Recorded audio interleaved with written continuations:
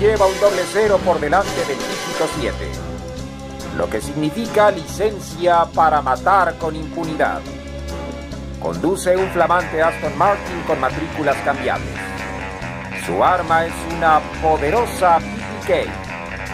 Tiene predilección por los cócteles, viste atildada y elegantemente, está dotado de una gran inteligencia, astucia, además de un irresistible atractivo, y protagoniza una serie de aventuras teñidas todas de intensa violencia y erotismo.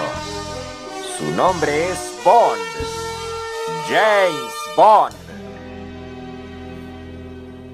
Hola amigos, ¿qué tal? Bienvenidos a este canal de YouTube que estamos dedicando a la presentación de la música y argumento de las películas de James Bond el agente 007. Sean cordialmente bienvenidos. Les saluda afectuosamente su amigo Luis de Mauleón y en esta ocasión platicaremos de You Only Live Twice. En efecto, en el verano de 1967 nacía un nuevo hijo legítimo de la franquicia Eon, You Only Live Twice, conocida en el orbe hispanoparlante como Solo se vive dos veces, la película en cuestión representó el quinto episodio oficial de la serie Bond y el penúltimo donde Sean Connery, también de manera oficial, volvería a aportar la poderosa PPK y su licencia para matar. Un capítulo que resulta axial para la franquicia por las razones que vamos a comentar. En primer lugar, James Bond fue un personaje popularísimo en los años 60 al socaire de la Guerra Fría y asimismo de la sociedad tecnológica. Una serie, la protagonizada por 007, y eso es algo que no debe callarse, cuyo éxito no solo radicaría en la calidad del producto, sino en el amplio margen permisible a la realización de los más perniciosos deseos reprimidos. Por otro lado, las películas de James Bond alcanzarían en los años 60 una enorme fama muy difícil de comparar. Doctor No, 1962, de Terrence Young. Desde Rusia con Amor, 1963, otra vez de Terrence Young. Goldfinger, 1964, de Guy Hamilton. Thunderball, 1965, otra vez dirigida por Terrence Young. Y You Only Live Twice, o Solo se vive dos veces, de 1967 de Louis Gilbert son los más claros exponentes de la mejor época de Bond, cuando 007 era fiel a su creador, Ian Fleming, así como al propio reflejo de su imagen, que obtendría en Sean Connery el cuerpo y el rostro que merecía el héroe. En ese sentido, el éxito de este personaje, nacido a la pantalla bajo la apariencia y maneras de Sean Connery, fue poco menos que increíble y verdaderamente espectacular. De ahí que para la franquicia Eon resultara un poco difícil la idea de tener que reemplazar a Connery por otro actor. Y es que Sean Connery solo suscribió contrato para trabajar en la primera película. Sin embargo, después de estrenada esta, y debido al éxito personal que tal película le supuso a su carrera, volvió a firmar contrato para las siguientes tres películas. Es a partir de ahí, y después de Desde Rusia con Amor, Goldfinger y Thunderball, que Sean Connery manifestó públicamente su deseo de abandonar a un personaje que, según él, estaba perjudicando su carrera.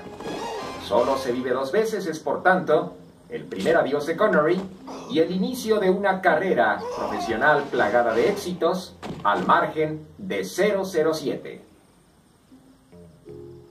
En lo que respecta a Solo se vive dos veces, película de 1967, además de Connery, actúan Maye Hama, Akiko Wakabayashi y Charles Gray.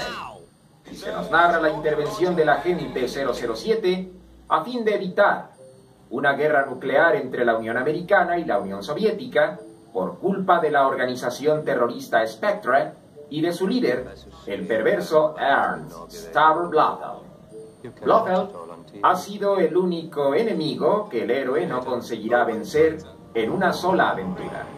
Por otro lado, este personaje, quien además consigue dejarlo viudo al eliminar en un atentado a su mujer, ha sido el único rival de Bond que se ha enfrentado a tres 007 distintos.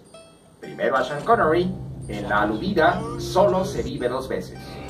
Más adelante a George Lazenby en 007 al servicio secreto de su majestad.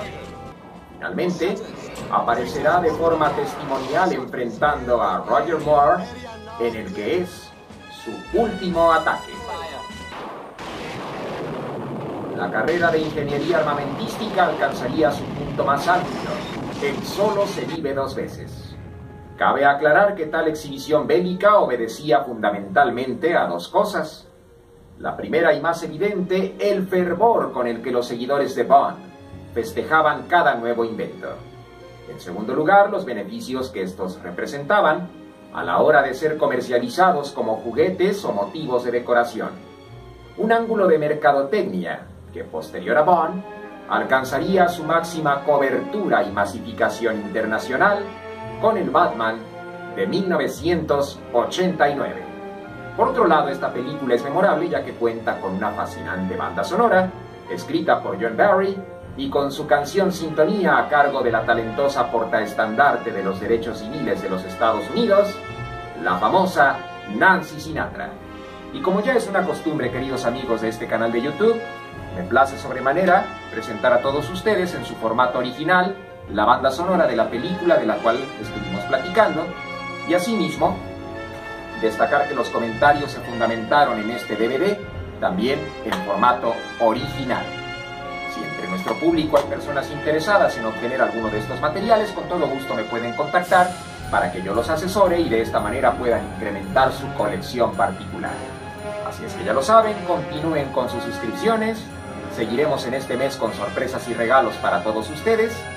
Y para terminar esta intervención agradeciendo su preferencia y sintonía, voy a presentar a manera de nostalgia en la tornamesa el tema principal de esta película a cargo de Nancy Sinatra. Los invito para que junto conmigo lo recuerden o bien lo conozcan.